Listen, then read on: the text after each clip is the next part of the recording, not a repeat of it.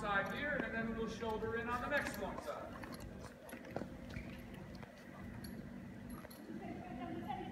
No, go straight shoulder in on the outside. On the wall on the other side. So I can do the other way. Good enough, we repeat it. So notice when things are good here, I just keep moving on. A lot to move through. Never do anything too long once I get that basic thing. Hardest thing is always just getting horses over the back. Once they do that, and it's pretty, e- it's pretty easy progression forward. Just got that idea, and we can always come back to it. The horse gets a out of whack. We always know we have to come back and get the horse back over the back. Okay, try lots of things. If you lose the back, then you know you have to come back and re-engage it again. Without the back in the right position, nothing works correctly. Yeah, like that. Good time. That's really good. So this is exactly about where you'd like to get to work in hand too, where you can do a nice leg tilt from the side, and you can do a shoulder in down alongside. And that tells me that if the horse is working over the back, then it's so easy to maintain all the contact without the horse trying to throw you up and fight his way outside. So that tells me the horse has got pretty nice and firm over the back. Very nice. Keep doing that. Down the long side, now onto a circle around me.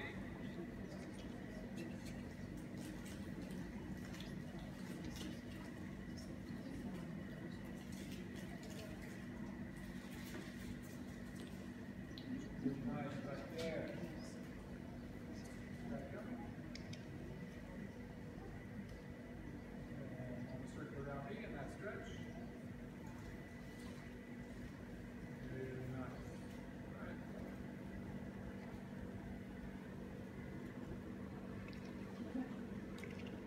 Really good. That was easy. You can mount up.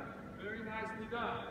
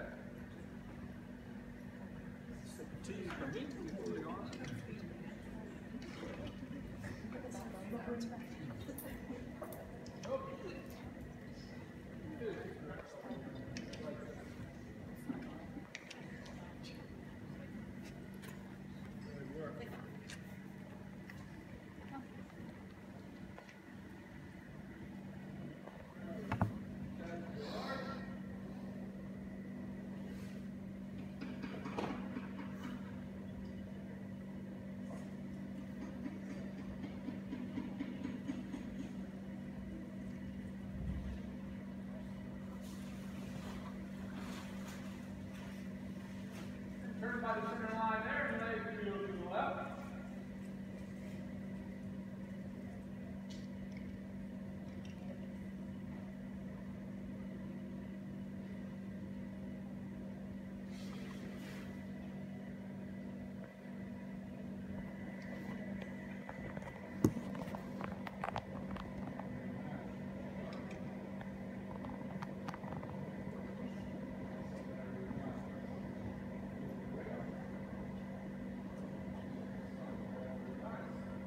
That stretch and change to Randy Crawford.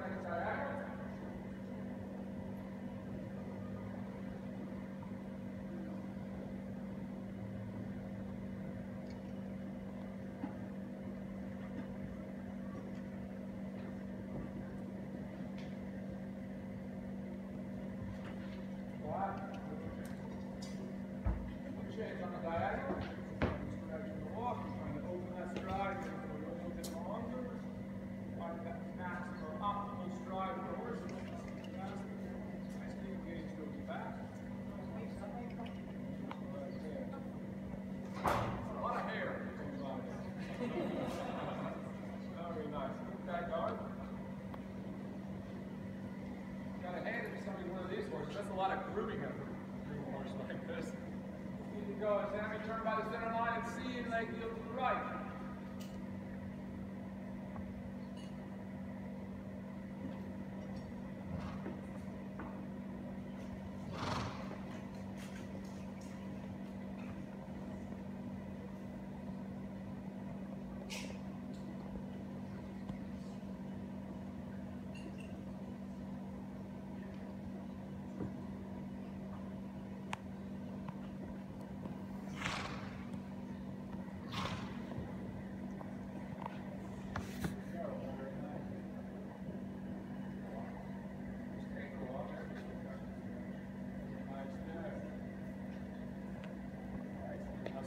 Stretch your shoulder and down the next long side.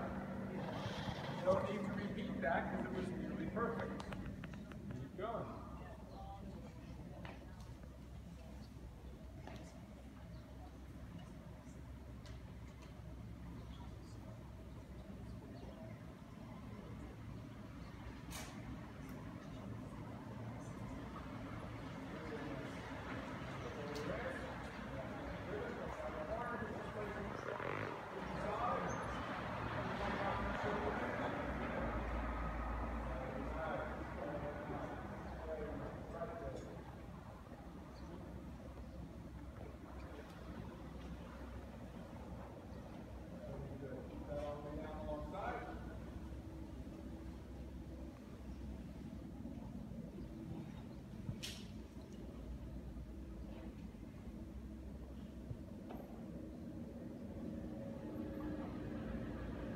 Now lighten the walk on the next diagonal, asking for even a little more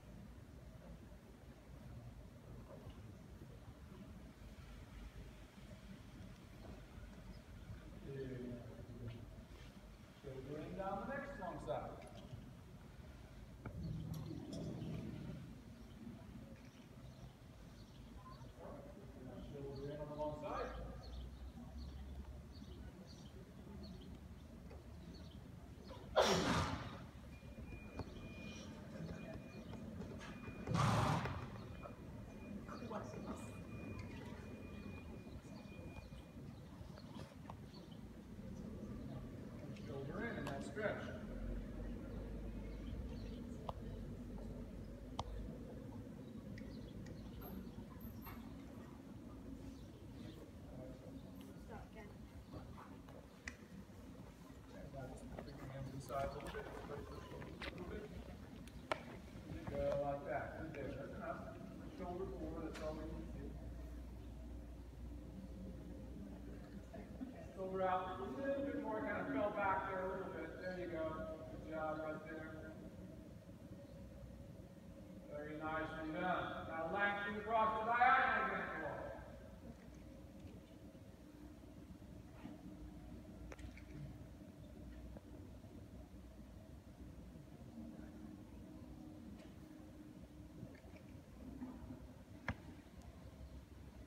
Again, lengthen the walk.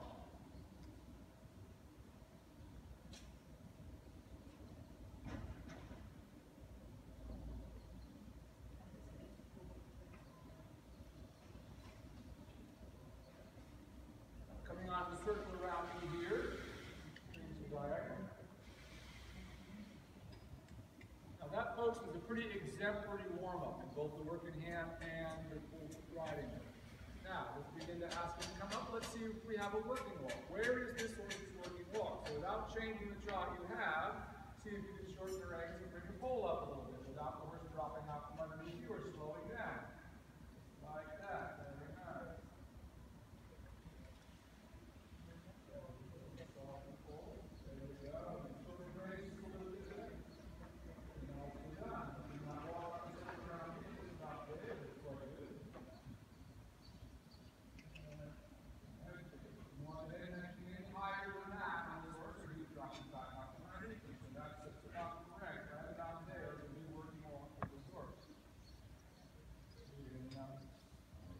Take your reins just a little bit shorter once you bring them up into this position. There you go.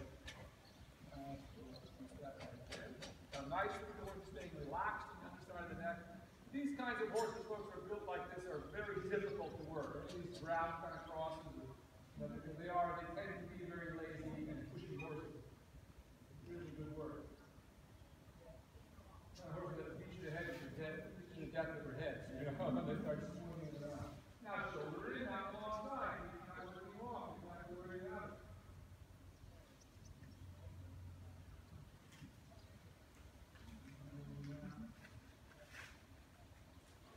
Right there, if you want. That's perfect. Very nice. Excellent.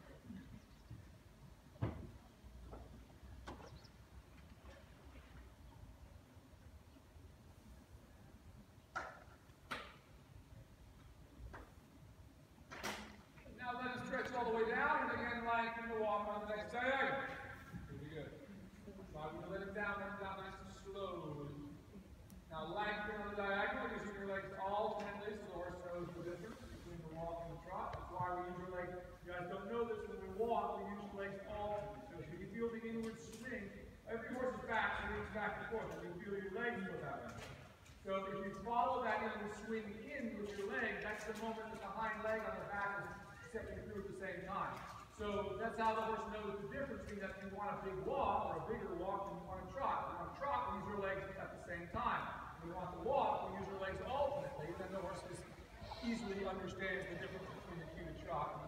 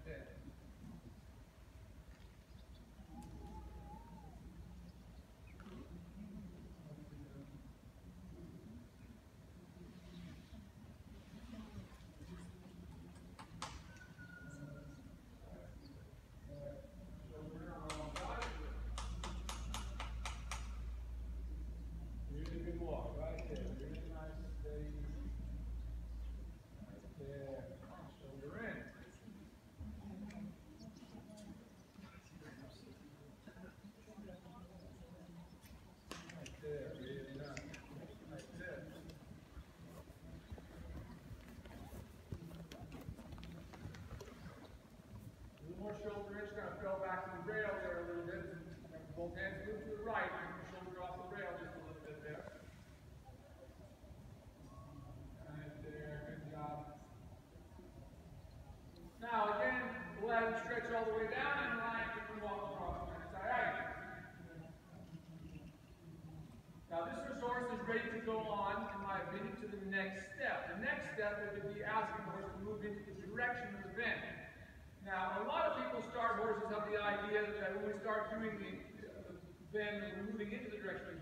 want to think they want to start with the haunches in. I hardly ever do haunches in because most horses go haunches in anyway. So it's kind of a pointless exercise that usually ends up with the horse getting too crowded, too kind of shortened up. So I begin work, I actually do half pass first, because the half pass is more natural. It's more like doing a leg yield, the horse just keeps the shoulder over. So what we're going to do, Sammy, is begin to try to do a half pass with this horse. Now the half pass, you're going to move into the direction of the bend. So put your whip in your outside hand, this is just the beginning of this, and this will be what you'll be working on perfecting for a while. Bring the horse up into the working walk again. So what we're going to do is listen to first, walk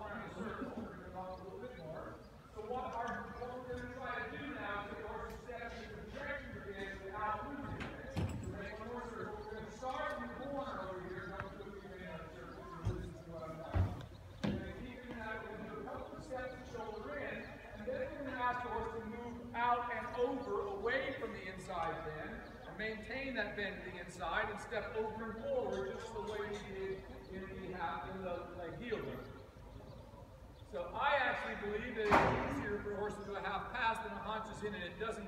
I said most, most horses want to go around with their haunches to the inside anyway, so it's just not a very productive exercise. So I don't do much of it. I tend to go right to the half pass, which is what we're doing here. When you come around the corner, you start